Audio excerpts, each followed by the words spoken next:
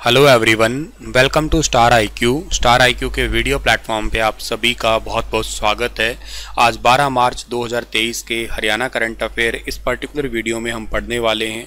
आइए सेशन की शुरुआत करते हैं। और अगर आपने अभी तक स्टार आईक्यू चैनल को सब्सक्राइब नहीं किया है तो कर लीजिएगा।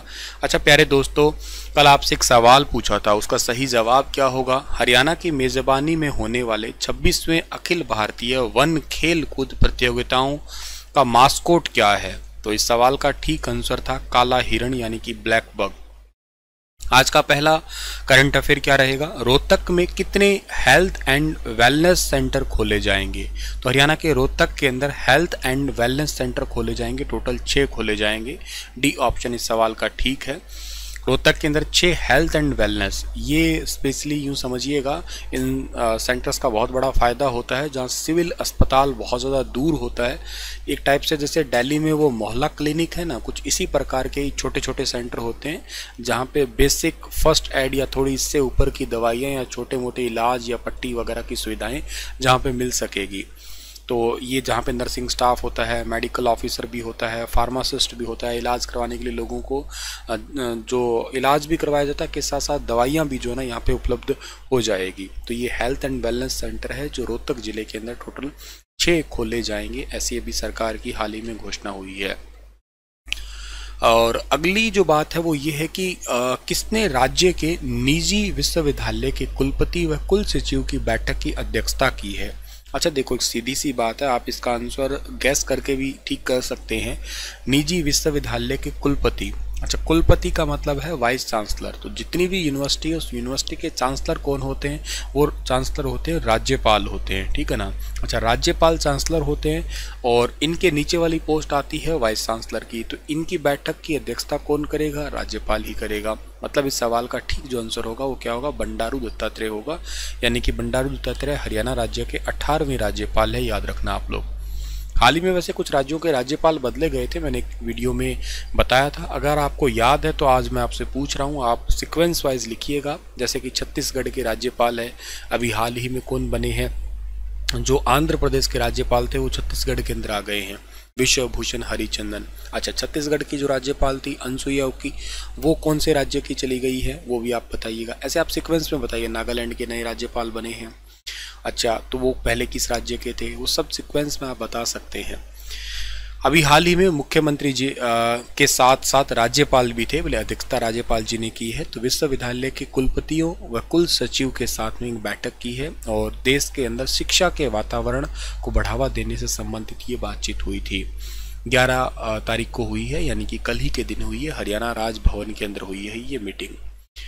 हरियाणा में दूसरे एम्स का निर्माण कौन से ज़िले में होगा? तो हरियाणा में दूसरा एम्स बनेगा और इसकी घोषणा वैसे बहुत टाइम पहले हो रही है, लेकिन अब अभी रिसेंट ये इसकी अपडेट आया है कि हरियाणा का ये दूसरा एम्स का निर्माण कार्य इसी साल से स्टार्ट किया जा रहा है। तो ये सवाल मैं आपको पढ़ा रहा हूँ, हालाँकि मैंने पहले भी पढ़ाया होगा, अगर आपको याद है तो। हरियाणा में पहला एम्स कहाँ पे है, वो आप लोगों को याद होगा, कहाँ पे है? जज्जर ज़िले के अंदर है। और जज्जर के बाडसा में है, ये दूसरा एम्स बनेगा कहाँ पे? ये बनने वाला है रेवाड़ी के अंदर, ठीक है? अच्छा सर, कोई और भी राज्य है क्या जहाँ पे डबल डबल एम्स है? हाँ है। एक राज्य है जिसका नाम है आंध्र प्रदेश, यहाँ पे दो एम्स है। एक राज्य है, इसी से ही निकला हुआ है, जिसका नाम है तेलंगाना, यहाँ पे भी डबल एम्स है। और एक केंद्र शासित प्रदेश है, इसका नाम है जम्मू एंड कश्मीर, यहाँ पे भी दो एम्स है। और चौथा राज्य अपना हरियाणा बनेगा, जहाँ पे डबल एम्स होंगे।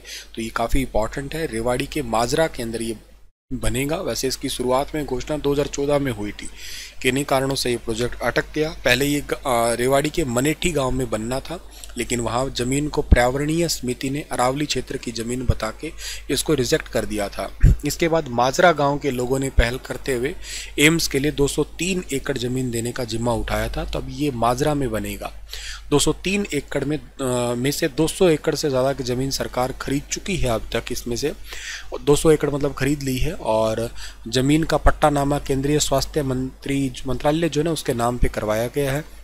और एक सौ उनचास एकड़ ज़मीन का पट्टानामा करवाया जा चुका है जिसमें से चौवन एकड़ ज़मीन का पट्टानामा होना अभी बाकी है वैसे ठीक है। और इसका फाइनल जो है ना, जैसे 2014 में घोषणा हुई थी, तब तो ये मनेठी गाँव का था। लेकिन जब माजरा गाँव के लिए बात थी, तब इसका एक बजट 2019-20 का था, जिसमें केंद्रीय मंत्री निर्मला सीतारमण जी थी, उन्होंने घोषणा की थी। ठीक है ना? कि लगभग लगभग 203 से लेके 210 एकड़, हालाँकि ये वैरी है, याद रखना मतलब 200 से 210 एकड़ के बीच तक जो है ना, ये बन सकता है। अभी फाइनल नहीं है कि इतना ही एकड़ होगा, ठीक है? कहीं पे 203 है तो कहीं 210 है।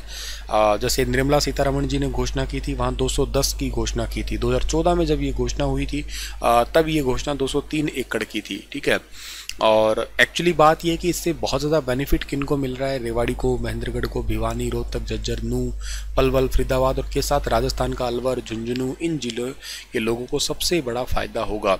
हरियाणा का ये एम्स है ना, ये भारत का कौन से नंबर का होगा? ये भारत का बाईसवें नंबर का एम्स होगा, ये बात आप लोग याद रखना। अच्छा सर, सबसे पहला एम्स कौन सा था? तो उन्नीस सौ चौवन के अंदर बना था सबसे पहला एम्स। वो था दिल्ली एम्स का, ठीक है ना? All India institute of medical science. अच्छा आपको ये भी याद होगा कि इसी दिल्ली एम्स में ही उन्नीस में पहली बार हार्ट ट्रांसप्लांट हुआ था। कब हुआ था वो? वो हुआ था तीन तारीख को, तीन अगस्त उन्नीस सौ चौरानवे को। किसने किया था? आ, वो किया था डॉक्टर वी वेणुगोपाल ने किया था। किस व्यक्ति पे किया था? वो किया था देवी राम नाम के एक व्यक्ति पे। अच्छा तीन अगस्त को हम कौन सा डे मनाते हैं? तीन अगस्त को हम लोग हार्ट ट्रांसप्लांट डे सेलिब्रेट किया करते हैं याद रखना। अच्छा ये तो आज के करंट अफेयर थे। कुछ आपको मैं रिलेटेड चीज़ें या कुछ बीते हुए दिनों के कुछ करंट अफेयर पढ़ाए आज की क्लास में रिवाइज करवाता हूँ। कुछ बहुत ज़्यादा न्यूज़ अपडेटेड थी नहीं। तो आपको कुछ रिवाइज करवा रहा हूँ, कुछ बीते हुए करंट अफेयर जैसे मैंने आपको रिसेंट डेज़ में पढ़ाया था, कुछ इंपॉर्टेंट क्वेश्चन है तो रिवाइज करवा रहा हूँ इनको ताकि पेपरों में आपको ये कामयाब साबित हो। हरियाणा खेल विश्वविद्यालय, ये हरियाणा का पहला खेल विश्वविद्यालय, आपको सबको पता है, सोनीपत के राई में बना है। इसके पहले कुलपति वाइस चांसलर कौन बने हैं? एस एस देसवाल बने हैं। ये बात आपको याद होगा। ये आईटीबीपी के रिटायर्ड हैं रिटायर्ड डीजी हैं डायरेक्टर जनरल है। वर्ल्ड एथलीट्स के द्वारा जारी सूची के अनुसार 2022 में किस खिलाड़ी के बारे में सबसे ज़्यादा लिखा गया है? तो ये लिखा गया था नीरज चोपड़ा जी के बारे में। ये हरियाणा के कहाँ के रहने वाले हैं? पानीपत और पानीपत में भी कहाँ के गाँव का नाम क्या खंडरा गाँव है। इन्होंने 7 अगस्त 2021 को मेडल जीता था, गोल्ड मेडल जीता था टोक्यो ओलंपिक में, जैवलिन थ्रो में। और इसी करके सात अगस्त को हम हर साल javelin throw celebrate javelin throw day celebrate करने लग रहे हैं। 2022 में हमने पहला मनाया था 23 में हम दूसरा मनाएँगे ऐसे। हरियाणा के किस यूनिवर्सिटी में भूकंप निगरानी केंद्र प्रणाली की स्थापना की गई है? तो भूकंप निगरानी केंद्र प्रणाली की स्थापना की गई है सेंट्रल यूनिवर्सिटी के अंदर, हरियाणा केंद्रीय विश्वविद्यालय। हाल ही में इस यूनिवर्सिटी के कुछ वैज्ञानिकों को कैल्शियम फोर्टिफाइड घी का पेटेंट भी मिला है। इस यूनिवर्सिटी के वीसी का नाम आपको पता होगा। टंकेश्वर कुमार, जिनको पूरे भारत का सबसे बेस्ट वीसी का भी अवार्ड मिल चुका है। रेड क्रॉस सोसाइटी अवार्ड भी इस यूनिवर्सिटी को मिल चुका है ऑलरेडी आईसीसी अंडर 19 महिला टी ट्वेंटी वर्ल्ड कप के लिए किसे भारतीय टीम का कैप्टन बनाया था तो ये हरियाणा के रोहतक की है, शेफाली वर्मा। और under 19 T twenty world cup अभी हाल ही में जीता भी है हम लोगों ने। ये कहाँ पे हुआ था वर्ल्ड कप ये साउथ अफ्रीका के अंदर हुआ था। और ये जीता है शेफाली वर्मा। इस टीम की कैप्टन थी, ये याद रखना। हरियाणा में तीर्थ मित्र पोर्टल का शुभारंभ किसने किया है? तो तीर्थ मित्र पोर्टल का शुभारंभ हरियाणा के मुख्यमंत्री जी ने किया मनोहर लाल जी ने। हरियाणा के किस ज़िले में कैंसर की सटीक दवा के लिए देश का पहला रिसर्च सेंटर बनाया जाएगा? अच्छा ये वही है आपका जो मैंने अभी बताया ना, एम्स। तो ये जज्जर के अंदर बनेगा, आपका याद रखना, all India institute of medical science Jhajjar के अंदर। ये दिल्ली, जो आईआईटी है, उसकी ही ब्रांच आएगी पचास एकड़ ज़मीन में, जहाँ पे कैंसर की सटीक दवा के लिए रिसर्च सेंटर बनाया जाएगा स्पेशली। चलिए इतने ही थे आज के क्वेश्चन आपके लिए और एक सवाल छोड़ के जा रहा हूँ कि दिसंबर 2022 में कॉरपोरेट मामले के मंत्रालय ने किस कंपनियों कॉरपोरेट मंत्रालय ने कंपनियों को अपनी वार्षिक आम बैठकें और असाधारण आम बैठक वीडियो कॉन्फ्रेंसिंग के मोड से कब तक आयोजित करने की अनुमति दी है? काफ़ी ही अच्छा सवाल है, थोड़ा भारी भरकम भी लग सकता है, पर थोड़ा सोच समझ के जवाब दीजिएगा। तारीखें आपके साथ में हैं और मिलता हूँ आप लोगों को मैं अगले दिन का करंट अफेयर का वीडियो लेके। हाँ आप लोग मेरा मंजिल का ख्याल बैच जो यूट्यूब पे बिल्कुल फ्री ऑफ़ कॉस्ट चल रहा है उसे देखना बिल्कुल मत भूलें। प्लेलिस्ट सबकी बनी हुई है। जोग्राफ़ी और के साथ में हिस्ट्री स्टार्ट कर रखी है हम लोगों ने। सुपर इंपॉर्टेंट सेशन है। बहुत कामयाब साबित होंगे आपके लिए वो। एक बार देखना ऐसा कंटेंट आप लोगों को बहुत ही आ, कम जगह पे मिला है या आप लोगों को सिक्वेंसली कंटेंट मिलेगा प्रॉपर नोट्स बनाना और अपनी अच्छी सी तैयारी करके बढ़िया सी गवर्नमेंट जॉब को पा लेना। इस भीड़ भाड़ की दुनिया में बिल्कुल फ्री बैच है तो प्लीज़ यूज़ करना उसका। मैं ये बात समझता हूँ कि फ्री होने के बावजूद लोग पढ़ते नहीं हैं। पैसे दे के पढ़ना ज़्यादा पसंद करते हैं भले ही उनमें कंटेंट होना हो। लेकिन फिर भी आ, मैंने प्रयास किया है तो उसको आप पढ़ सकते हैं। बाकी आपकी सलाह है। शुक्रिया आपका बहुत बहुत धन्यवाद।